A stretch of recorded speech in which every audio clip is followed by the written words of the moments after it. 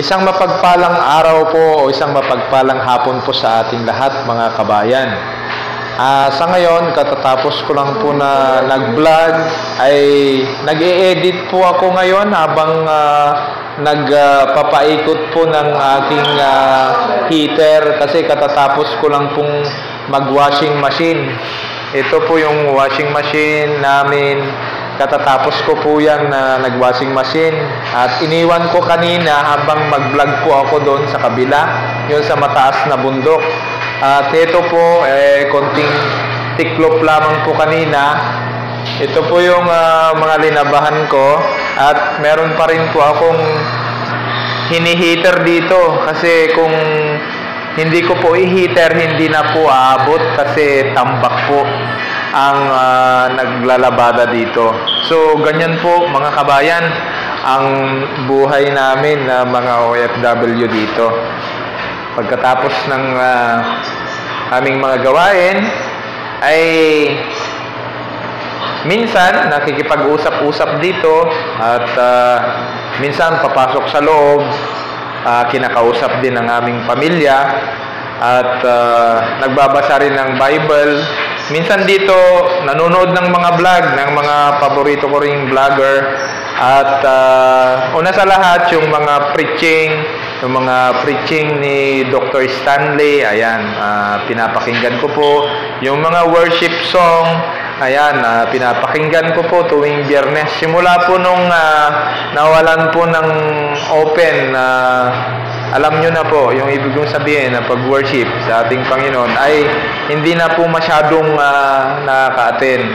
Ah, yung attitude po naman bilang isang Christians ay ah, hindi naman po nabawasan, kaso lang yung disiplina ay lago pong pinag-iingat sa ating sarili. Kailangan pa rin po ng disiplina sapagkat yan po ang ating pinagkaiba sa ating mga kapwa-tao. At ah, lahat po naman, mayroon po tayong kanya-kanyang moral life. At heto nga, uh, in, pinapaliwanag ko lang yung aking buhay na bilang isang ah, OFW para alam nyo naman kung ano yung sitwasyon. Kasi minsan, pasensya na, mayroon akong mga minsan na vlog na masyadong hindi na-edit, nagmamadali, para ma-feedback ko lang po sa inyo. Minsan na nag-iisip din ng mga content. Ayan, at uh, ang summary, ganun ang aming buhay. Kaya ito, pagkatapos nga nito mamaya, ilalabas ko, titiklupin, papasok na naman po ako sa aking kwarto.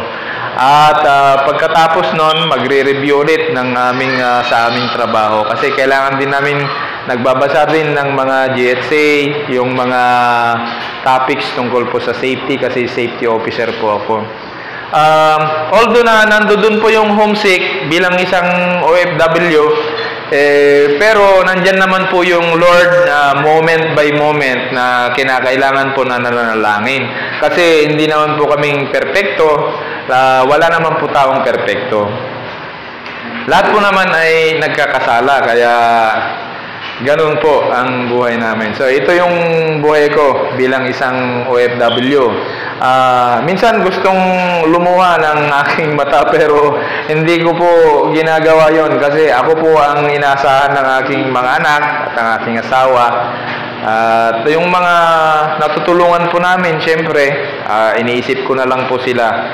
Kasi importante ito ang buhay. Nilikha po naman tayo ng Diyos na mayroong purpose dito.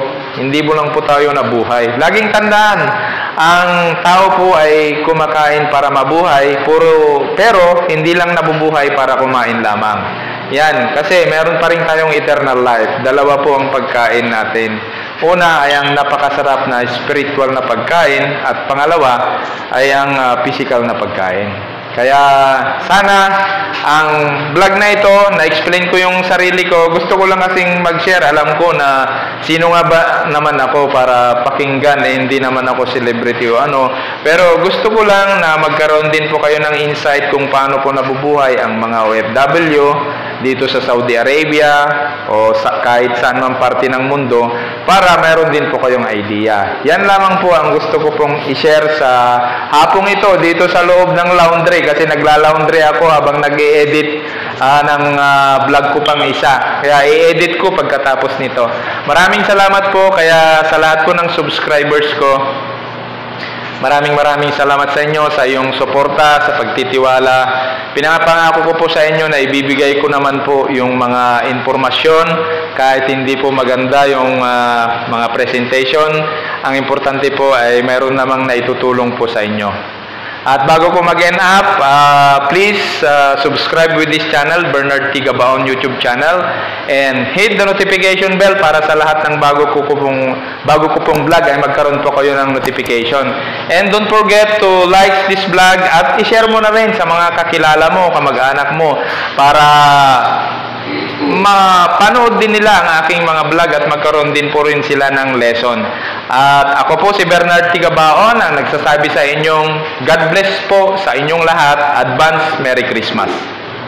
Thank you po.